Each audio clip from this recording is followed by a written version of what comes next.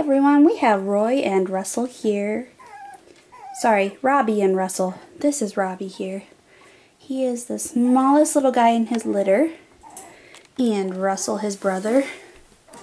Russell is actually super cool because he has a mohawk in between his eyes that has been there for a couple weeks now. I'm not sure if his little mohawk's going to go away.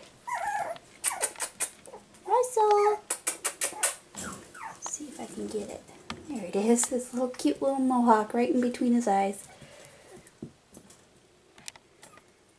These boys are four and a half weeks old now. a little upset because they've been inside for a while. They're ready to go see their mama again. But for the most part, they're generally pretty quiet little guys. You can see, they have very happy little tails. They do great with groomings.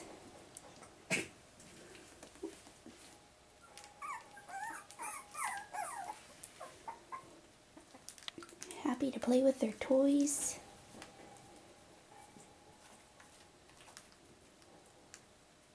Their mama is Roxy. And these are F1 Cavapoos just have great little calm personalities. They are going to make great little pups.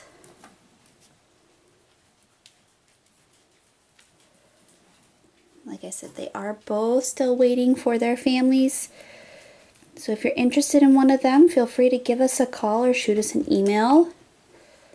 We can talk to you about how to put a deposit down on one of these two and get them home to you. They'll be ready to go um, the first week of January. Again, this is Russell here.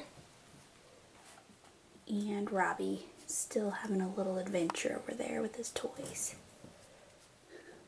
Russell's a little tired now though. He's going to take a nap.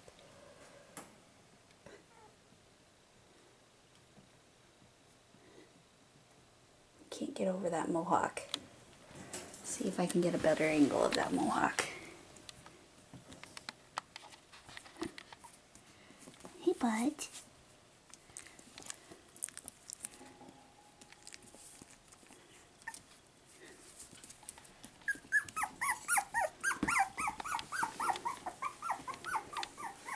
we're going to get some updated picture of these two boys today. So let us know if you'd like to welcome one of them into your home. All of our contact information is in the description below. Thanks, guys.